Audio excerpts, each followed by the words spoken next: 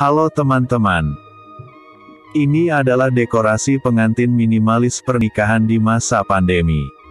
Kreativitas tangan-tangan terampil tidak berhenti untuk memunculkan ide-ide baru mereka. Seperti yang dilakukan para jasa event hajatan, contohnya bapak ini, dia tidak harus pasang dekorasi di luar ruangan.